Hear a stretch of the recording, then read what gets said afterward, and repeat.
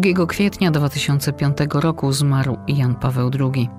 Od 2006 roku każdy drugi dzień kwietnia jest czasem wspomnień o świętym dziś Janie Pawle II.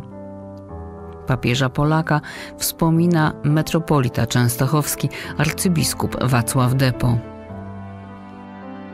Bardzo się cieszę, że znajdujemy się w kaplicy biskupów częstochowskich pod wezwaniem podwyższenia Krzyża Świętego, akurat w okresie Wielkiego Postu i w tym czasie, który jest szczególnym wyzwaniem i dla Kościoła, i dla naszej Ojczyzny. I ja myślę, że to moje związanie się z Janem Pawłem II jest już od początku jego pontyfikatu, bo to było również moje wejście w sakrament kapłaństwa. I dlatego odczytuję to, że moje modlitwy razem z papieżem, zarówno na Placu Zwycięstwa w Warszawie, trzy dni w Częstochowie, w Nowym Targu, Oświęcimiu, w Krakowie, to była szczególna łaska, ale i dla mnie zobowiązanie. Dlatego proszę się nie dziwić, że te słowa, które on wypowiadał, one są we mnie. Ja dlatego wypowiadam je tak, jakby to on wypowiadał, bo to są formy świadectwa, dzisiaj mojego. I tak odbierałem i odbieram Jana Pawła II jako dar osobowy, nie tylko kościelny, ale przede wszystkim osoby, ale i świadka ewangelicznego wiary Kościoła.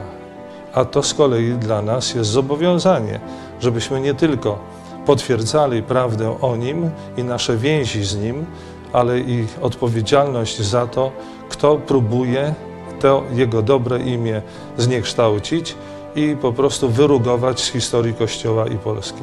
Dlatego jesteśmy wezwani, żeby poprzez modlitwę, ale jednocześnie poprzez studium odkrywać Jego dziedzictwo, nie tylko dla siebie, ale i dla przyszłych pokoleń.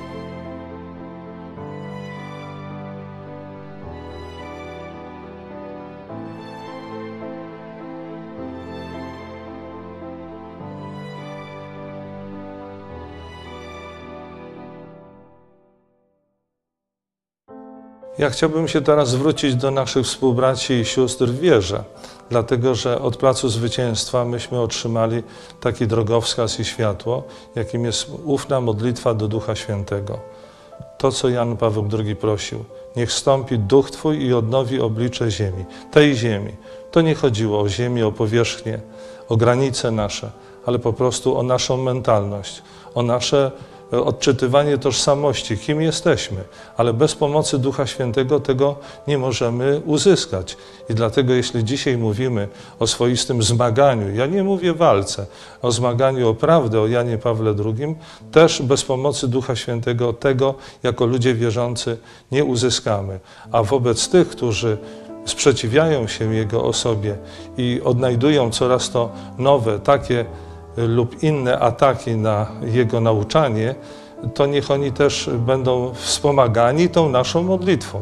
Bo tutaj chodzi o to, żeby opatrzność Boża kierowała naszymi losami i żebyśmy się nie dzielili na tych, którzy są y, przeciwnikami albo nie daj Boże wrogami, bo tego uczył nas Jan Paweł II. Jeden drugiego noście, nigdy jeden przeciwko drugiemu, bo to przyniesie walkę nie do uniesienia i ciężary nie do uniesienia. Dlatego uczmy się, że te jego słowa są wciąż aktualnym przesłaniem, a nie tylko historycznym z tego czy innego właśnie pielgrzymowania.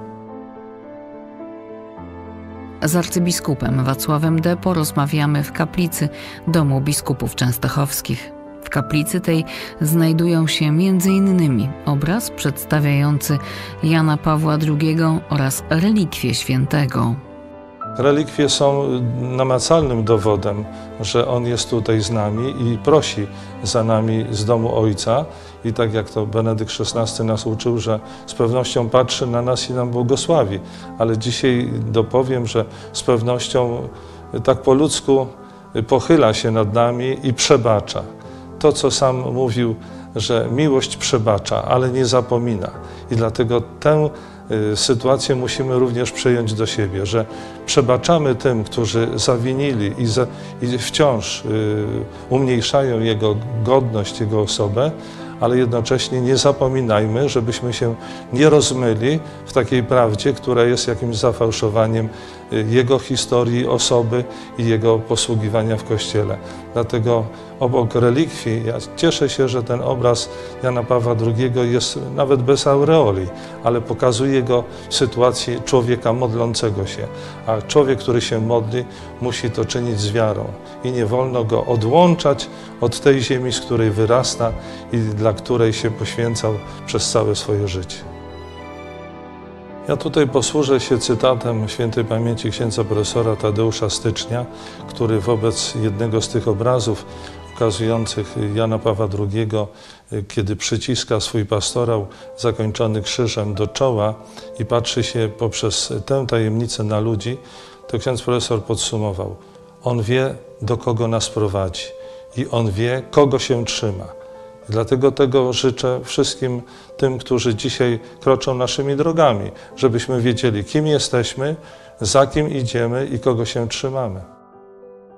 Wezmę słowa Ojca Świętego, który podkreślił w tryptyku rzymskim, że nawet przemijanie ma sens. Podkreślił to trzy razy. Czyli my przechodzimy przez życie do życia i to życia wiecznego.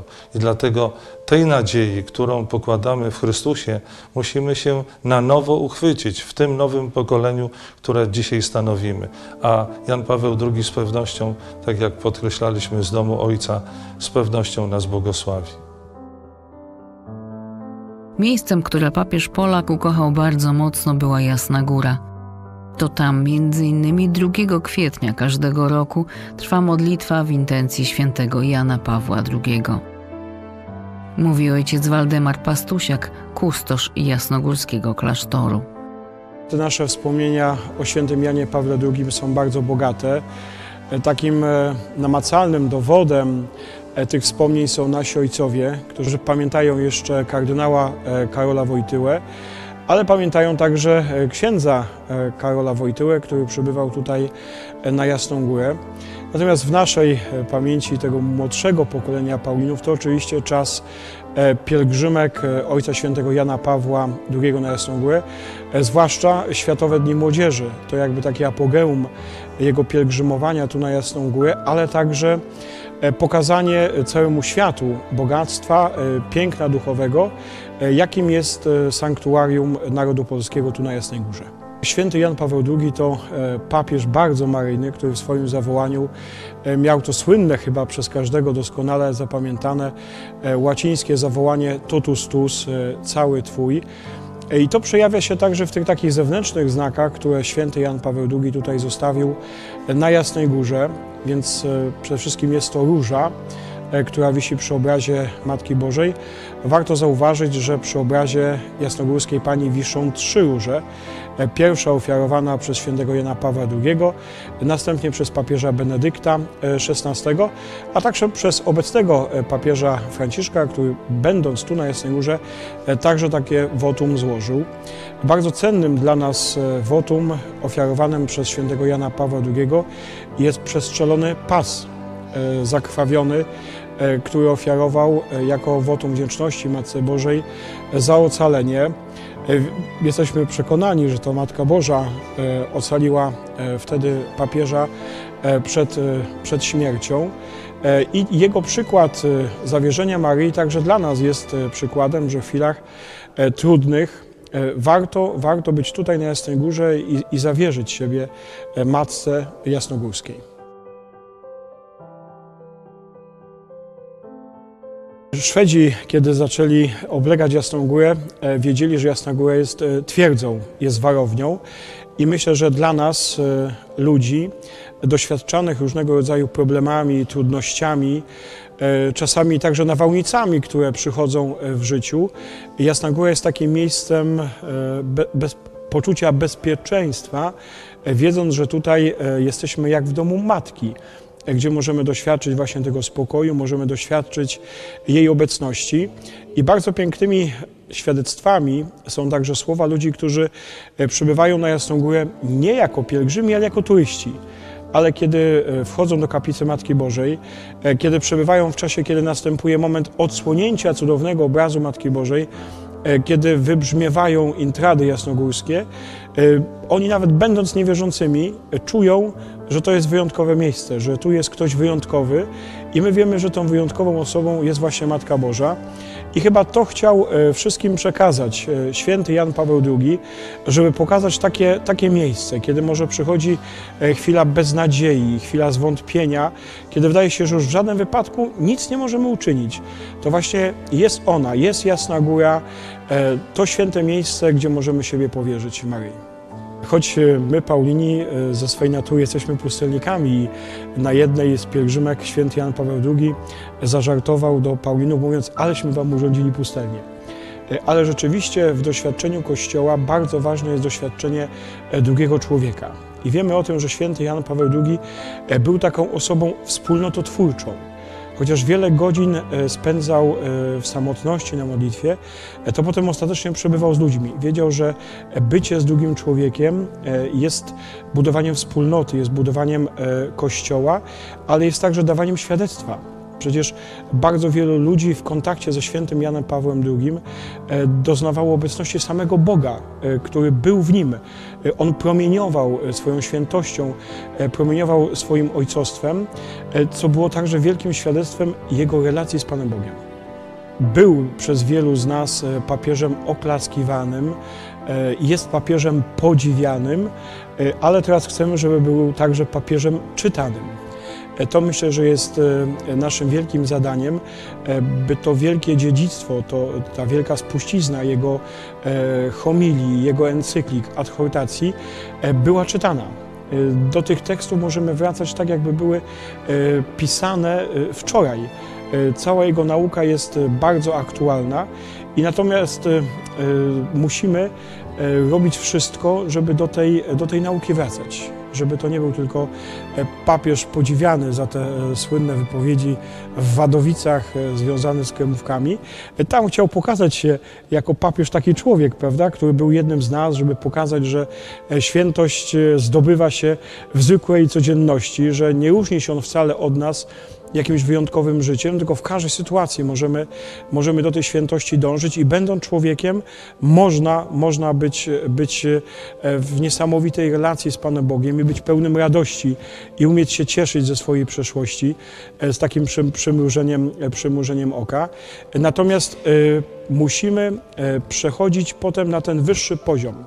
E, relacji ze świętym Janem Pawłem II, e, czyli na ten poziom papieża słuchanego i papieża czytanego. I mamy nadzieję, że e, te wszystkie sytuacje, które teraz dzieją się wokół osoby świętego Jana Pawła II, będą dla nas zachętą do tego, żeby go poznawać. Może dla niektórych w ogóle nieznanego, bo to też jest problem, że współczesne pokolenie, młode pokolenie już nie zna świętego Jana Pawła II. Może część jeszcze pamięta moment jego odchodzenia do domu ojca, natomiast e, musimy zrobić wszystko, e, tak by nauczanie świętego Jana Pawła II dla współczesnego młodego człowieka stało się także atrakcyjne i wzbudzić w nich ciekawość do poznania tego, e, kim był. Dla nas, ludzi wierzących, moment przejścia do wieczności, czyli moment śmierci, nie jest momentem smutnym. Wiadomo, że e, tracimy kogoś e, bliskiego, kogoś, kogo kochamy i w naszym sercu rodzi się i smutek, i żal, i łzy, e, czasem może bunt. Natomiast w momencie, kiedy odchodził święty Jan Paweł II, Kościół bardzo mocno to podkreślał, że jest to przejście do domu Ojca, że to jest narodzenie się dla nieba, że śmierć nie jest końcem, ale jest tylko bramą i przejściem do nowego, lepszego życia. I myśmy tak naprawdę świętego Jana Pawła II wtedy nie stracili, ale odzyskali go na nowo, jako tego, który wstawia się za nami e, u Boga. I zawsze 2 kwietnia e, tu na Jasnej Górze staramy się o tym mówić i o tym e, przypominać, że dla nas wszystkich, chrześcijan, śmierć jest bramą i przejściem do nowego, lepszego życia i oczekujemy tego dnia, kiedy spotkamy się ze świętym Janem Pawłem II i z wieloma innymi naszymi zmarłymi, za którymi tęsknimy. I ten dzień 2 kwietnia tu tu na Jasnej Górze zawsze jest dniem, kiedy e, odprawiamy uroczysty apel jasnogórski i po skończonym apelu jasnogórskim w procesji udajemy się e, pod pomnik świętego Jana Pawła II, e, który znajduje się na bastionie, a który wita wszystkich pielgrzymów zawsze wchodzących na Jasną Górę, aby tam podziękować za jego życie, aby tam podziękować za jego świętość, ale tak, żeby tam prosić o jego wstawiennictwo, byśmy byli wierni temu dziedzictwu, które nam zostawił. Pontyfikat świętego Jana Pawła II jest dobrze udokumentowany. Zostały po nim zapisy filmowe, zdjęcia, reportaże. Jednym z fotografów, który miał szczęście i przywilej bywać blisko najpierw Karola Wojtyły, później Jana Pawła II, jest Zdzisław Sowiński.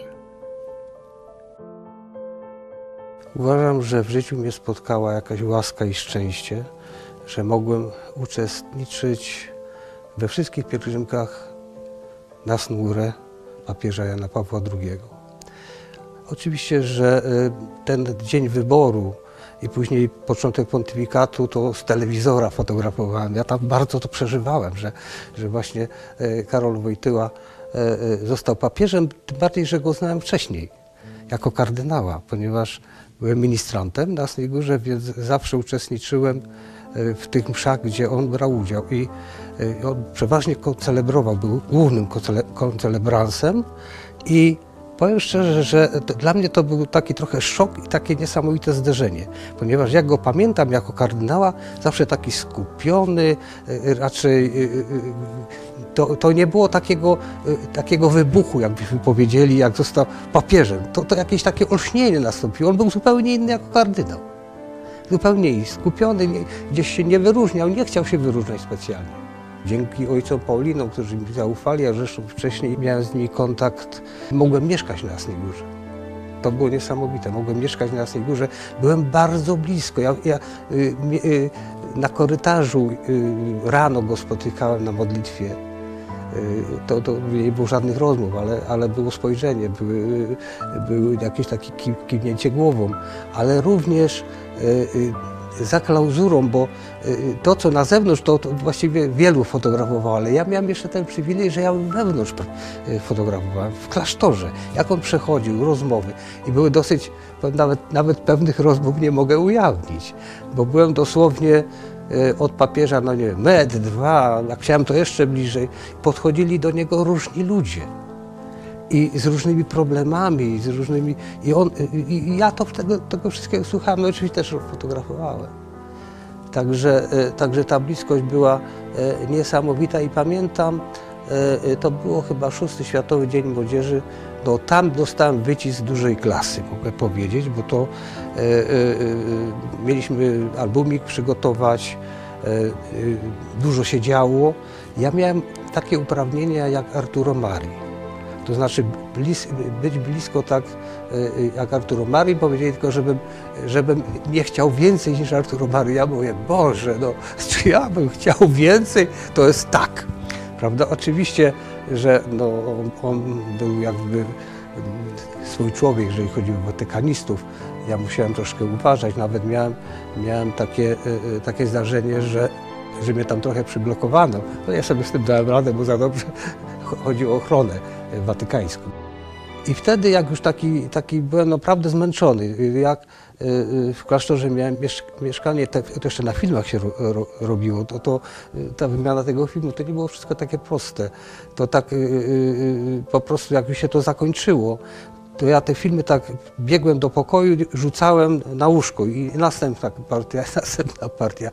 Jak już była już ostatnie jego wyjście ze szczytu do klasztoru, to ukląknąłem jak już przy samym tutaj wyjściu do, do klauzury, żeby mnie pobłogosławił, no to po, podał mi rękę, taki czułem jakby ta, ta dłoń była taka aksamitna, taka, taka, taka delikatna, to przynajmniej tak to wtedy odczuwałem, pobłogosławił mnie. E, no i, i, i, i po prostu jak już od, od, odleciał helikopterem, wróciłem do pokoju, rzuciłem się na, na, na łóżko i tak w ubraniu we wszystkich wśród tych filmów i tak spałem w tym ubraniu do rana. Ja już ja ani nie myłem, ani nic byłem tak wykończę, bo to było emocje. Fizyczna sprawa też, bo tu y, y, y, trzeba było się przemieszczać szybko, podejmować decyzje, krok do tyłu, krok do przodu. Y, no i te emocje, to, to spięcie, żeby się nic złego nie wydarzyło. Jakaś awaria, no wszystko się może przytropić. Y, ta- Także y, tutaj no, nasyciłem się bardzo jego pobytem na tych wszystkich pielgrzymkach na Jasnej Górze i później to już dostałem stypendium Jana Pawła II i mieszkałem w Rzymie trzy miesiące. Między innymi byliśmy no, taką niedużą grupkę artystów różnych dziedzin, kilkanaście osób, mieliśmy taką audiencję, taką dla takiej maleńkiej naszej grupy. No i każdy z nas mógł trochę porozmawiać. Oczywiście każdy się przedstawiał, no ja jako ten związany z Jasną Górą, prawda? I on, powiem, ta rozmowa trwała na moje wyczucie nawet 10 minut. To, to, to ogromny czas, jak na takiego, prawda, pospolitego zjadacza chleba i, i, i, i tego, który chcą do niego iść liczni i to nie jest takie wszystko proste. Ale on był tak zachwycony, że ma do czynienia z człowiekiem z Jasnej Góry, nie Paulinem, osobą świecką, która e, wykonuje takie czynności, które on bardzo cenił, bo Jan Paweł II bardzo nam, według mnie, bardzo nam pomagał, tym fotografującym, filmującym. E, On, on się nie oburzał, on raczej otoczenie tego, on, on, tak, on czuł, tak ja czułem, że on nam pomaga. Że on nam pomaga i, i, i nigdy nie był jakoś tam przeciwny y, temu, że go tam otaczamy. Y, No oczywiście, że y, później jakieś zbieranie myśli, no bo to, to jest pielgrzymka, musimy pamiętać. To jest jedna wielka modlitwa. To są y, słowa, które dopiero później tam jakoś do mnie docierały, bo y, y, jak się, mówię, fotografuje, to wykonuje pewną pracę. No to nie wszystko tak dociera. Dopiero później się nabiera takiego lekkiego dystansu do tego. No i, i, poza tym jego, jego osoba, która no bardzo ciepła, to to się czuło, to, to, że y, i taka przejęta Polską. Jan Paweł II był przejęty Polską. To się, to się prze, przewijało w jego, a, a ja jestem wrażliwy bardzo na, na, na, na, na, tym punkcie. I, i on był tak rozkochany w Polsce, w Polakach, swoich rodakach, że dawał ten, ten wyraz, te jego, jego, jego przemówienia, jego przemyślenia właściwie, które przekazywał nam, y, to, to, to, to, to, to, to, że tam jakaś świętość, no to dla mnie nie jest nic dziwnego, że papież stara się być święty, no to jest, czy jest y, rozmodlony, no to dla mnie też nie stanowi to y, jak coś szczególnego. Oczywiście on to robił może w taki sposób, który nam się bardzo udzielał. Ale to, że, że czuł ludzkość, a Polskę szczególnie. I, i, I te jego te kameralne rozmowy jeszcze dodatkowo mnie, mówię, nie mogę ujawniać, jakby, bo one były dosyć e, e, takie osobiste te rozmowy, ale tam się przywijał ciągle wątek Polski. Tam troska o Polskę, tam ludzie przychodzili z różnymi sprawami i on to bardzo, bardzo przeżywał.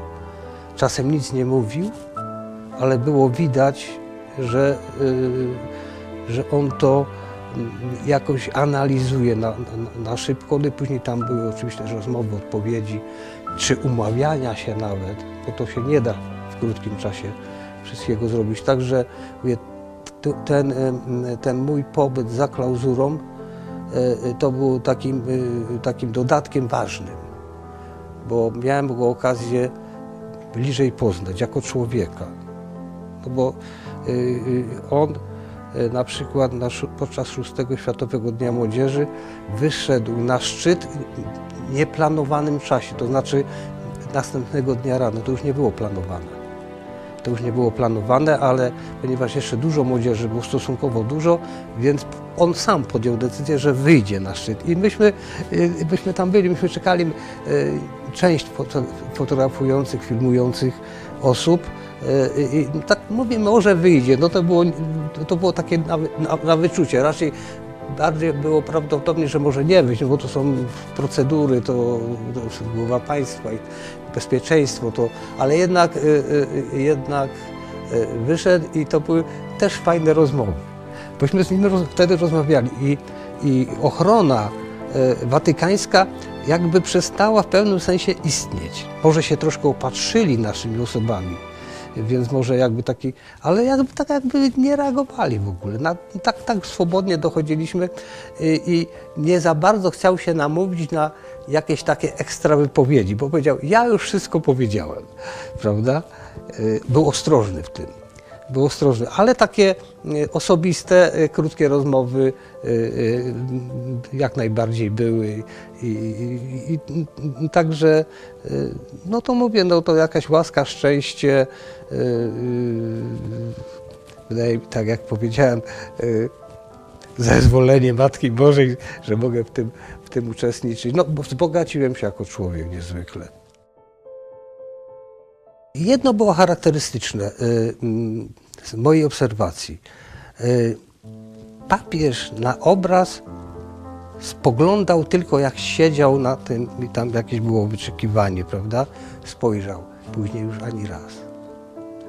Z moich obserwacji był tak, y, tak wtopiony, w, sądzę, tą modlitwą, tą myślą, że, że on sam jakby y, czuł, że ma ograniczyć y, taką fizyczny kontakt, prawda? Ten bardziej duchowo to wszystko wyglądało.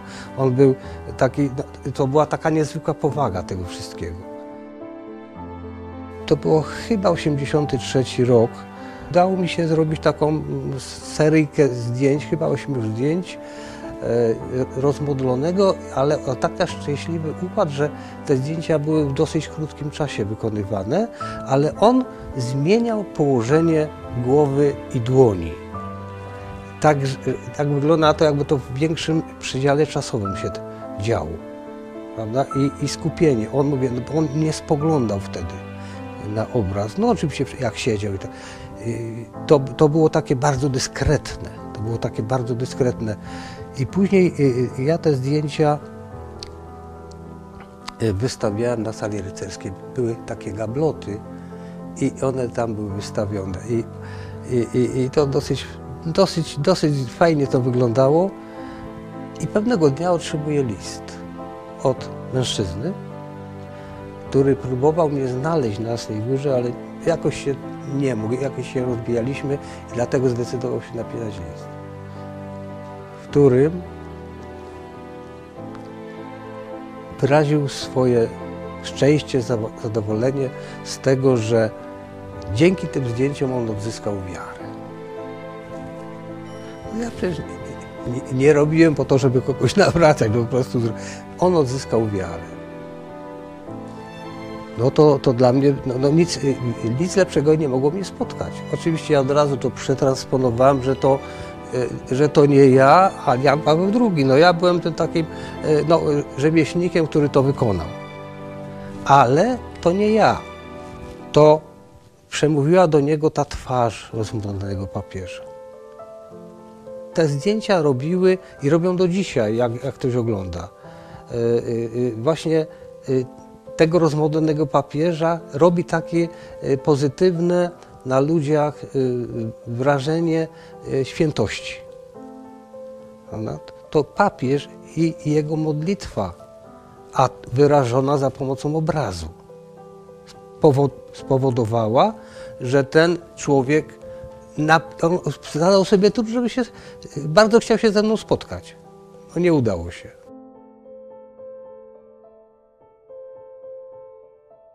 To dla mnie taka wielka radość, że, że został przekroczony pewien próg tylko tej, tej fizyczności, że trafiliśmy w sferę ducha.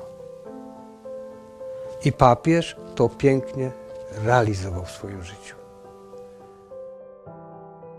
Przeżywanie kolejnej rocznicy śmierci świętego Jana Pawła II jest w tym roku szczególnie trudne.